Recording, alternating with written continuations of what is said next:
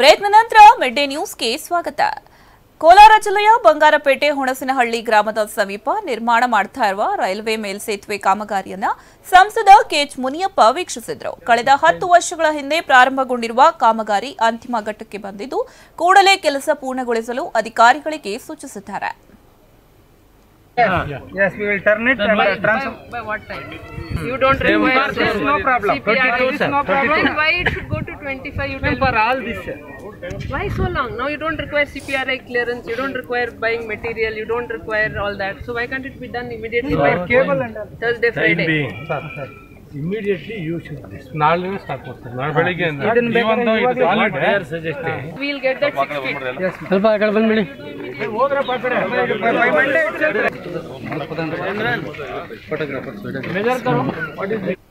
ಇದೇ ತಿಂಗಳು ಇಪ್ಪತ್ಮೂರರಿಂದ ಹುಬ್ಬಳ್ಳಿಯಲ್ಲಿ ಕಾಂಗ್ರೆಸ್ ಸಮಾವೇಶ ನಡೆಯಲಿದೆ. ಈಗಾಗಲೇ ಜಿಲ್ಲಾವಾರು ಸಮಾವೇಶಕ್ಕೆ ಸಕಲ ಸಿದ್ಧತೆ ನಡೆಸಲಾಗಿದೆ ಅಂತ ಈಶ್ವರ್ ಖಂಡ್ರೆ ಹೇಳಿದ್ದಾರೆ. ಹುಬ್ಬಳ್ಳಿಯಲ್ಲಿ ಮಾತನಾಡಿದ ಅವರು, ಒಟ್ಟು ಇಪ್ಪತ್ತೆಂಟು ಲೋಕಸಭಾ ಜಿಲ್ಲಾವಾರು ಸಮಾವೇಶ ನಡೆಯಲಿದೆ. ಇದೇ ಇಪ್ಪತ್ಮೂರರಿಂದ ರಾಯಚೂರು ಜಿಲ್ಲೆಯಿಂದ ಸಮಾವೇಶ ಪ್ರಾರಂಭಗೊಳ್ಳಲಿದ್ದು, ಸಮಾವೇಶದಲ್ಲಿ ಕಾಂಗ್ರೆಸ್ ಎಲ್ಲ ಹಿರಿಯರು, ಮುಖಂಡರು ಭಾಗಿಯಾಗಲಿದ್ದಾರೆ.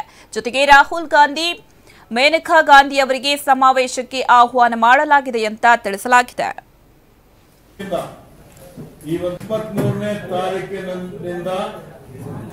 ಇಡೀ ರಾಜ್ಯದ ಎಲ್ಲ ಇಪ್ಪತ್ತೆಂಟು ಲೋಕಸಭಾ ಕ್ಷೇತ್ರಗಳಲ್ಲಿ ಜಿಲ್ಲಾವಾರು ಸಮಾವೇಶಗಳು ಮಾಡಲಿಕ್ಕೆ ಇವತ್ತು ಸಿದ್ಧತೆಗಳಾಗಿದೆ, ತೀರ್ಮಾನ ಮಾಡಲಾಗಿದೆ. ಇಪ್ಪತ್ಮೂರನೇ ತಾರೀಕು ರಾಯಚೂರಿಂದ ಈ ಒಂದು ಸಮಾವೇಶಗಳು ಪ್ರಾರಂಭಗೊಳ್ಳಲಿವೆ. ಈ ಸಮಾವೇಶದಲ್ಲಿ ನಮ್ಮ ಪ್ರಧಾನ ಕಾರ್ಯದರ್ಶಿಗಳಾದಂತಹ ಶ್ರೀ ಕೆ ಸಿ ವೇಣುಗೋಪಾಲ್ ರವರು, ಸಮನ್ವಯ ಸಮಿತಿ ಅಧ್ಯಕ್ಷರಾದಂತಹ ಶ್ರೀ ಸಿದ್ದರಾಮಯ್ಯನವರು ಉಪಮುಖ್ಯಮಂತ್ರಿಗಳಾದಂತಹ ಶ್ರೀ ಜಿ ಪರಮೇಶ್ವರ್ ಅವರು ಜಿಲ್ಲಾವಾರು ಸಮಾವೇಶಗಳು. ಮಾರ್ಚ್ ತಿಂಗಳಲ್ಲಿ ಕಾಂಗ್ರೆಸ್ ಬೃಹತ್ ಸಮಾವೇಶ ನಡೆಯಲಿದೆ. ಮಾರ್ಚ್ ನಾಲ್ಕರಂದು ರಾಹುಲ್ ಗಾಂಧಿ ಹಾವೇರಿಗೆ ಆಗಮಿಸಲಿದ್ದಾರೆ ಅಂತ ಉಸ್ತುವಾರಿ ಸಚಿವ ಜಮೀರ್ ಅಹ್ಮದ್ ಹೇಳಿದ್ದಾರೆ. ಹಾವೇರಿಯಲ್ಲಿ ಮಾತನಾಡಿದ ಅವರು, ಮಾರ್ಚ್ ನಾಲ್ಕರಂದು ಪ್ರಿಯಾಂಕಾ ಗಾಂಧಿ ಅವರು ಬರುವ ಸಾಧ್ಯತೆ ಇದೆ. ಜಿಲ್ಲೆಯ ಬೃಹತ್ ಅಣೂರು ಕೆರೆಗೆ ನೀರು ತುಂಬಿಸುವ ಕೆಲಸ ಇನ್ನೂರ ಹನ್ನೆರಡು ಕೋಟಿ ರು ಬಿಡುಗಡೆ ಮಾಡಲು ಸಿಎಂ ಒಪ್ಪಿಗೆಯನ್ನ ನೀಡಿದ್ದೇವೆ ಅಂತ ಹೇಳಿದ್ದಾರೆ.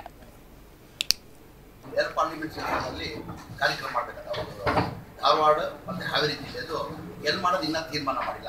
ನಾಲ್ಕನೇ ಎರಡು ಒಟ್ಟಿಗೆ ಸೇರಿ ಮಾಡಿ ನಾಲ್ಕನೇ ತಾರೀಕು ಮಾಡಬೇಕಂತ ತೀರ್ಮಾನ ತಗೊಂಡಿದ್ವಿ. ಪ್ಲೇಸ್ ಇನ್ನ ಐಡೆಂಟಿಫೈ ಮಾಡ್ತಾರೆ ಯಾವುದಂತ.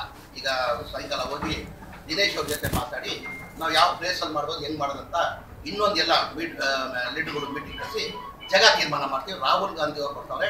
ಬೃಹತ್ ಸಮಾವೇಶ ಮಾಡ್ಬೇಕಾದ್ರೆ ತೀರ್ಮಾನ ಮಾಡಿ. ನಮ್ಮ ಕಾರ್ಯಕರ್ತರ ಅಭಿಪ್ರಾಯ.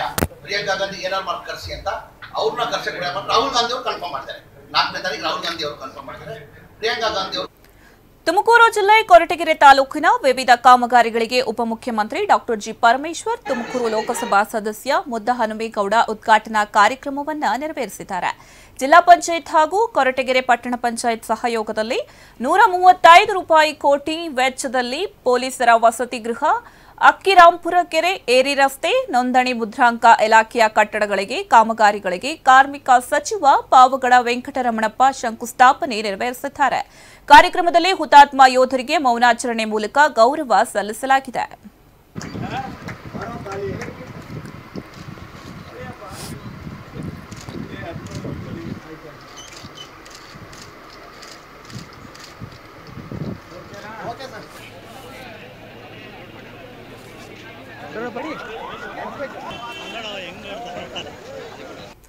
ಕಟ್ಟಡ ಕಾರ್ಮಿಕರ ಮಂಡಳಿಯಲ್ಲಿ ಏಳು ಸಾವಿರ ಕೋಟಿ ರೂಪಾಯಿ ಕೊಳಿತ ಬಿದ್ದಿದೆ ಎಂದು ಕೆಪಿಸಿಸಿ ಕಾರ್ಯಾಧ್ಯಕ್ಷೆ ಹಾಗೂ ಕಾಂಗ್ರೆಸ್ ಕಾರ್ಮಿಕ ಘಟಕದ ಅಧ್ಯಕ್ಷ ಎಸ್ಎಸ್ ಪ್ರಕಾಶ್ ಆರೋಪಿಸಿದ್ದಾರೆ. ಮಾತನಾಡಿದ ಅವರು, ಮಂಡಳಿಯಲ್ಲಿ ಏಳು ಸಾವಿರ ಕೋಟಿ ರೂಪಾಯಿ ಇದೆ. ಪ್ರತಿ ವರ್ಷ ನಾಲ್ನೂರು ಕೋಟಿ ರೂಪಾಯಿ ಬಡ್ಡಿಯೂ ಬರ್ತಾ ಇದೆ. ಆದರೆ ಈ ಪೈಕಿ ಪ್ರತಿ ವರ್ಷ ಕೇವಲ ಮುನ್ನೂರು ಕೋಟಿ ರೂಪಾಯಿ ಮಾತ್ರ ಖರ್ಚಾಗ್ತಾ ಇದೆ. ಹೀಗಾಗಿ ಅಸಂಘಟಿತ ಕಾರ್ಮಿಕರು ನೋಂದಣಿ ಮಾಡಿಕೊಳ್ಳುವ ಮೂಲಕ ಹೆಚ್ಚಿನ ಸೌಲಭ್ಯ ಕಲ್ಪಿಸಲು ಕಾಂಗ್ರೆಸ್ ಪ್ರಯತ್ನಿಸ್ತಾ ಇದೆ. ಇನ್ನು ರಾಜ್ಯದಲ್ಲಿ ಸುಮಾರು ಎರಡು ಕೋಟಿ ಅಸಂಘಟಿತ ಕಾರ್ಮಿಕರಿದ್ದು ಎಲ್ಲರ ನೋಂದಣಿ ಅಗತ್ಯವಿದೆ ಅಂತ ಹೇಳಿದ್ದಾರೆ.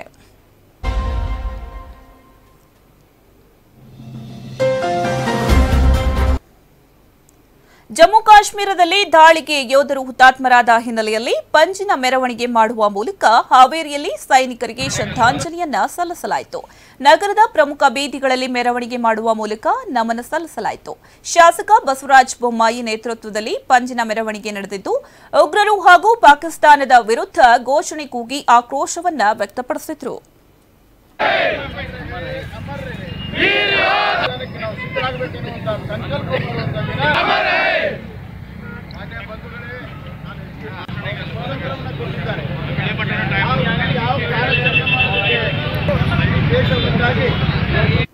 ಪುಲ್ವಾಮಾದಲ್ಲೇ ವೀರ ಮರಣವನ್ನ ಹೊಂದಿದ ಧೀರ ಯೋಧರ ಆತ್ಮಕ್ಕೆ ಶಾಂತಿ ಸಿಗಲೆಂದು ಕಲಬುರಗಿಯ ಅಫ್ಜಲ್ಪುರದಲ್ಲಿ ಪಂಜಿನ ಮೆರವಣಿಗೆ ನಡೆಸಲಾಯಿತು. ಆಳಂದ ಶಾಖಾ ಮಠದ ಪೀಠಾಧಿಪತಿ ಕೇದಾರ ಶಿವಾಚಾರ್ಯರ ನೇತೃತ್ವದಲ್ಲಿ ಪಂಜಿನ ಮೆರವಣಿಗೆ ನಡೆಸಿ ಪಾಕಿಸ್ತಾನದ ವಿರುದ್ಧ ಘೋಷಣೆ ಕೂಗಿದ್ರು. ಇನ್ನು ದಾಳಿಯಿಂದ ಹುತಾತ್ಮರಾದ ಸೈನಿಕರ ಆತ್ಮಕ್ಕೆ ಶಾಂತಿ ಸಿಗಲೆಂದು ಎರಡು ನಿಮಿಷ ಮೌನಾಚರಣೆಯನ್ನ ಮಾಡಿದ್ದಾರೆ. ನಂತರ ಶಾಖಾ ಮಠದ ಪೀಠಾಧಿಪತಿ ಕೇದಾರ್ ಶಿವಾಚಾರ್ಯ ಮಾತನಾಡಿ, ಭಾರತೀಯರೆಲ್ಲರೂ ಸ್ವಾಭಿಮಾನದಿಂದ ದುಡಿತಾ ಹೊಟ್ಟೆ ತುಂಬಾ ಊಟ ಮಾಡಿ ಕಣ್ಣು ತುಂಬಾ ನಿದ್ದೆ ಮಾಡಬೇಕಾದ್ರೆ ನಮ್ಮನ್ನ ರಕ್ಷಣೆ ಮಾಡುವ ಸೈನಿಕರಿದ್ದಾಗ ಮಾತ್ರ ಸಾಧ್ಯ. ನಮ್ಮ ದೇಶವನ್ನ ರಕ್ಷಣೆ ಮಾಡುವಂತಹ ಸೈನಿಕರಿಗೆ ಮೋಸದಿಂದ ಪಾಕಿಸ್ತಾನದ ಪಾಪಿಗಳು ಬಲಿ ತೆಗೆದುಕೊಂಡಿದ್ದಾರೆ. ನಮ್ಮ ರಕ್ಷಣೆ ಮಾಡಲು ಹೋಗಿ ಉಗ್ರರ ಕರಾಳ ಕೂಪಕ್ಕೆ ಬಲಿಯಾಗಿ ವೀರ ಮರಣವನ್ನ ಹೊಂದಿದ ಧೀರ ಯೋಧರ ಆತ್ಮಕ್ಕೆ ಶಾಂತಿ ಸಿಗಲಿ ಅಂತ ಹೇಳಿದ್ದಾರೆ.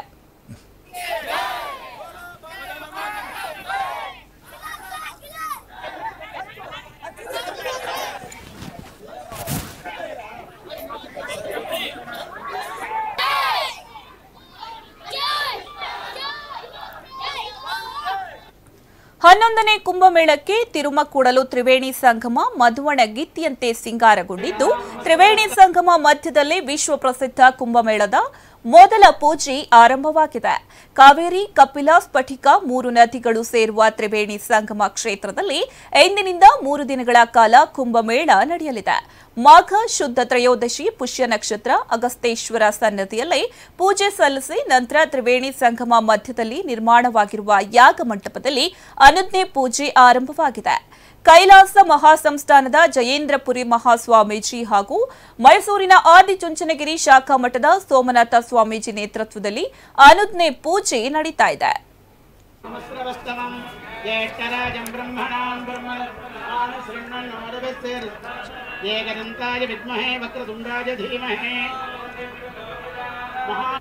ಜಮ್ಮು ಮತ್ತು ಕಾಶ್ಮೀರದ ಪುಲ್ವಾಮಾದಲ್ಲಿ ನಡೆದ ಉಗ್ರರ ದಾಳಿಯನ್ನ ಸಂಭ್ರಮಿಸಿ ಜೈಷ್ ಇ ಮೊಹಮ್ಮದ್ ಸಂಘಟನೆಯನ್ನ ಹೊಗಳಿದ ಇಂಜಿನಿಯರಿಂಗ್ ವಿದ್ಯಾರ್ಥಿಯನ್ನ ಬಾಗಲೂರು ಪೊಲೀಸರು ಬಂಧಿಸಿದ್ದಾರೆ. ಕಾಶ್ಮೀರದ ಬಾರಮುಲ್ಲಾ ಜಿಲ್ಲೆಯ ಇಪ್ಪತ್ಮೂರು ವರ್ಷದ ತಾಹಿರ್ ಲತೀಫ್ ಬಂಧಿತ ಆರೋಪಿ. ದಾಳಿ ನಡೆಸಿದ ಉಗ್ರನ ಪರವಾಗಿ ಫೇಸ್ಬುಕ್ನಲ್ಲಿ ಬಿಗ್ ಸಲ್ಯೂಟ್. ನಿನಗೆ ಸ್ವರ್ಗ ಪ್ರಾಪ್ತಿಯಾಗುತ್ತೆ ಎಂದು ತಾಹಿರ್ ಲತೀಫ್ ಬರೆದುಕೊಂಡಿದ್ದ. ಬೆಂಗಳೂರಿನ ಖಾಸಗಿ ಇಂಜಿನಿಯರಿಂಗ್ ಕಾಲೇಜ್ನಲ್ಲಿ ಮೂರನೇ ವರ್ಷದ ಸಿವಿಲ್ ಇಂಜಿನಿಯರಿಂಗ್ ವ್ಯಾಸಂಗ ಮಾಡ್ತಾ ಇರುವ ಲತೀಫ್ ವಿರುದ್ಧ ಅಪರಾಧಿಕ ಒಳಸಂಚು ಕೃತ್ಯಕ್ಕೆ ಬೆಂಬಲಿಸಿದ ಆರೋಪದ ಮೇಲೆ ಪ್ರಕರಣ ದಾಖಲಾಗಿದೆ.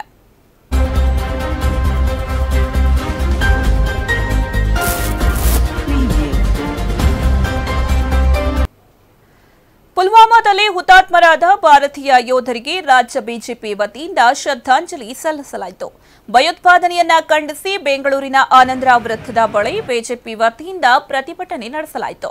ಬಿಜೆಪಿ ರಾಜ್ಯಾಧ್ಯಕ್ಷ ಬಿಎಸ್ ಯಡಿಯೂರಪ್ಪ ನೇತೃತ್ವದಲ್ಲಿ ನಡೆದ ಧರಣಿಯಲ್ಲಿ ಮಾಜಿ DCM R Ashok, Aravind Limbavali, Shobha Karandlaje, N Ravikumar, BJP ಕಾರ್ಯಕರ್ತರು ಭಾಗಿಯಾಗಿದ್ದರು. ಪಾರ್ಲಿಮೆಂಟ್ ಮೇಲೆ ಅಟ್ಯಾಕ್ ಆದಂತ ಸಂದರ್ಭ ಇರಬಹುದು ಇದಿಷ್ಟು ಈ ಹೊತ್ತಿನ ಪ್ರಮುಖ ಸುದ್ದಿಗಳು? ನೇರ ಸುದ್ದಿ, ನಿರಂತರ ಮನರಂಜನೆಗಾಗಿ ನೋಡುತ್ತಾ ನಿಮ್ಮ ನೆಚ್ಚಿನ ಜನತಾ ವಾಹಿನಿ.